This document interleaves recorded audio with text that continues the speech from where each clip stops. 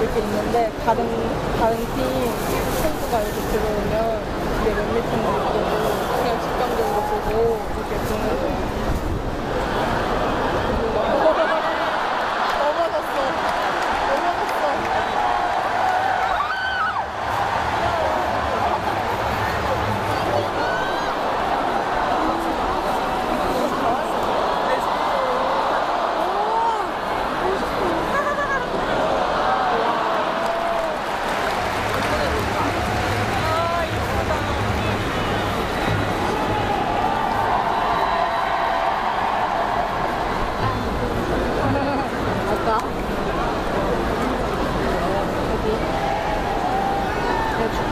카메라 붙이면 문제 보지 않아요? 선수가 괜찮아요 카메라 붙이는 거 문제 보죠 그냥 자기가 알아서 하는 거.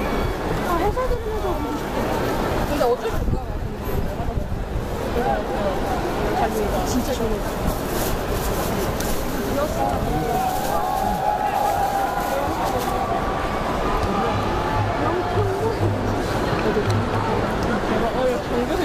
여기 너무 섹시한 거 같아. 인간적으로. 인간적으로 너무 섹시한 거아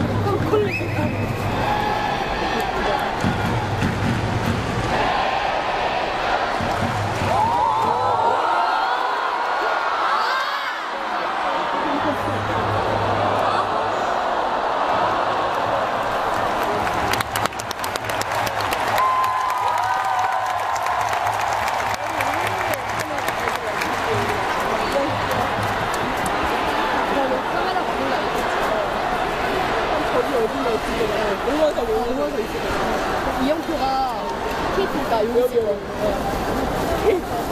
KT 거기서 그 바뀐 거 바뀐 거. 바뀐 거.